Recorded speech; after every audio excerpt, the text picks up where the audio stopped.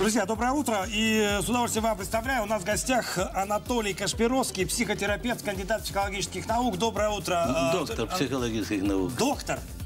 Простите, э, простите, доктор психологических наук. Э, доброе утро, Анатолий Михайлович. А, доброе, Доброе утро. утро. Ну, Анатолий Михайлович уже с утра немножко раскритиковал наши рабочие места. э, не очень они комфортные. В принципе, эту точку зрения мы э, э, разделяем. Скажите, а утро это комфортное время суток э, э, для вас? И как Для начинается... меня, для меня комфортно. У меня утро нач... сегодня началось в 2 часа утра. В два часа. А, Потому что переезды, ломка времени, а вс- всегда ломка времени. Вот, поэтому для это самое комфортное. А есть какой-то рецепт э, комфортного утра с точки зрения, прежде всего, э, здорового образа жизни, здорового человека? Что такое здоровый образ жизни? Вот вы, молодой человек, сколько вы сегодня сделали подъемов на пресс? Подъемов на пресс, э, но пару раз, когда пытался с Правда, а я встать, сделал, я сделал больше тысячи раз. И по ступенькам поднимался. Что здоровый образ жизни, постоянная э, физическая нагрузка должна быть. Она немного времени занимает. Вот. Но это не относится к здоровому образу жизни. Я вообще не люблю этой фразы «здоровый образ жизни». Вот. Нормальный. Но все это не главная быть, тема, э, не главная здоровыми. тема, не главная тема. Что вы меня хотели спросить? Или дайте, дайте я лучше скажу. давайте, давайте. Э, вот сейчас многие люди смотрят. Кстати, вы думаете, они смотрят? Они слушают в большинстве Они слушают. своем. М, Во-первых, на мои выступления надо приходить обязательно э, зеркалом. Небольшое зеркало и э, косынка. Почему? Почему? Почему? Расскажите нам. А потому что у нас э, то и дело делается такое. Люди смотрят на, на свое лицо. Морщины э, на лице, на шее. Потом набрасывается платочек. Через три минуты они снимают, а у них другое лицо, другая шея. Это на вечерних занятиях. То есть исчезновение морщин. Дальше. Изменение цвета глаз. Вчера делал и позавчера что? Открывается рот, человек смотрит, а что там делается с миндалинами? Увеличены миндалины. Через несколько минут э, они куда-то деваются. То есть это абсолютно новые вещи э, в плане программирования человека, новые и никому непонятные, и почему они так происходят. Второе, второе, что там есть, у нас еще есть и снятие остеохондроза, ну, много таких вещей, связанных именно с тканью. Но я хотел бы, чтобы они приносили зеркала. И еще э, у нас происходит следующее э, много людей страдает аллергией. Ну, на всякий случай, на земном шаре, по данным Всемирной организации здравоохранения, 3 миллиарда аллергиков. И ни, ни разу никого не вылечили. Ни разу. Вот э, приходит по 40 лет, там, 30 лет аллергия на разные запахи, на продукты, на еду и прочее. Снимается за 10-15 секунд. Но надо всегда приносить аллерген. Допустим, если аллергия на мед, надо э, чуть-чуть там пол чайной ложечки меда принести в марле, так? А если аллергия, аллергия на шерсть, там собачья, кошачья и прочее, то тоже в марле, не, один слой марли, чтобы при вдыхании, я делаю провокацию, чтобы не попали ворсинки в легкие. Ну вот все. Вчера был один кусочек яблока принес, тоже марля. А позавчера одна дама принесла яйцо куриное. Я говорю, а что же вы не в марле принесли? Ну, пришлось разбить и так ей чуть-чуть дать попробовать. Они пробуют, и я хочу- посмотреть, дадут они реакцию или нет. Но, не, но быстро делаю э, так, что они падают. И в этот момент, в момент падения у них вырабатываются антитела. И все, они уходят без аллергии. Ма- Малыш недавно была, одна девочка такая миленькая, просто невероятно, 6 лет. Аллергия на молоко. Ну, тут несколько этапов. Осторожно, но тоже э, снимается аллергия. Так что обязательно приноси с собой аллергены.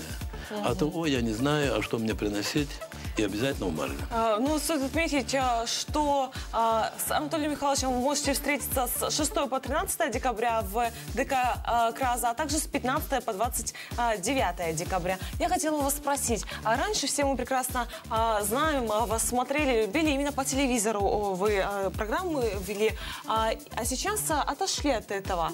То есть а, больше любите контакт а, с Нет, людьми нет, нет, находить нет. или почему? Знаете, роковая ошибка была.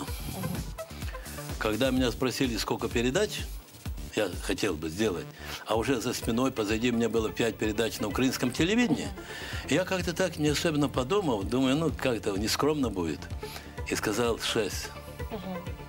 Шесть передач. Смотрите, Малахов сколько ведет? Уже сколько лет? Ну, Ну, значит, люди не стесняются быть на телевидении, а э, поле чудес и так дальше, и так дальше. Надо было сказать 30 передач. По крайней мере, я захватил бы 90-й год. А так, 6 передач, не успел сказать, а, уже сам себя и закопал. Это была большущая ошибка. Но вообще на современном телевидении много программ, где фигурируют люди, э, ну, они позиционируют себя как люди там с экстрасенсорными способностями или с какими-то там сверхспособностями. Э, Почему мы не видим вас в этих программах? И как вы относитесь к людям, которые, в общем, э, в этих программах фигурируют там на популярных Знаете, телеканалах? моя работа, она вызвала э, две реакции. Первое, люди захотели, чтобы на них это отразилось в плане здоровья, а другие захотели лечить. И появилось целое племя так называемых экстрасенсов. Экстрасенсов на Земле нет, не было и не будет. И то, что сейчас есть битва экстрасенсов, это есть или нечаянное, или умышленное оглупление нации. Понимаете? Никаких экстрасенсов нет, никаких магов, никаких шаманов, колдунов. Это все этикетки, которые люди на себя навешивают для того, чтобы привлечь внимание. А толку никакого. Вот, потому что должен быть результат. Например, исчезновение рубцов на сердце. Вот, не получается. Телемосты я сделал в 88-89 году. А где повторы? 28 лет нет. Ну, допустим, снятие аллергии. Каждый раз, кто не выходит, они избавляются от аллергии. Но почему хотя бы кто-нибудь хоть раз не повторил? Даже дочь президента, бывшего президента США Обамы на аллергию на собачью шерсть. Некоторые начинают так меня стараются уколоть. Ну, а что вы, мол, не снимете, я часто бываю в Штатах, не снимете аллергию у дочери э, э, президента США Обамы? Я говорю, ну не приглашают. А если пригласил бы, то опять условия поставил бы. Сказал бы, Аляска дай, тогда аллергию снимать будем.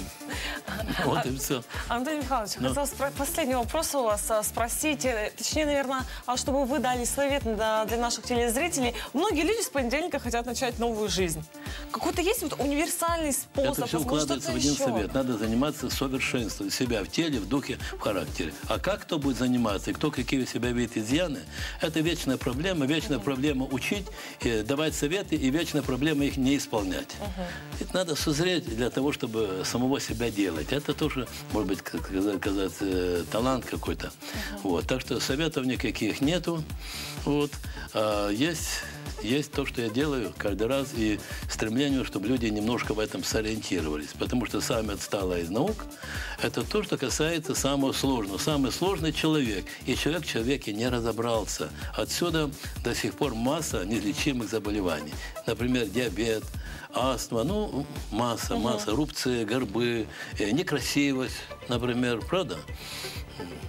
лысые, беззубые, больные, умирающие, онкология.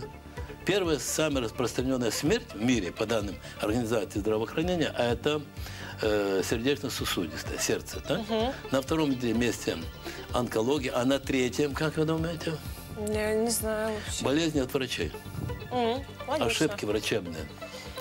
Анатолий Михайлович, ну, э, большое вам спасибо. Я э, думаю, что э, лучший совет, э, и мне, мне кажется, абсолютно укладывается в какой-то вот э, просто человеческий разум. Э, Пусть каждый день э, каждый из нас становится хоть немножечко лучше, то есть самосовершенствуется. И э, в этом, наверное, и есть тот самый пресловутый смысл жизни, хотя я могу ошибаться.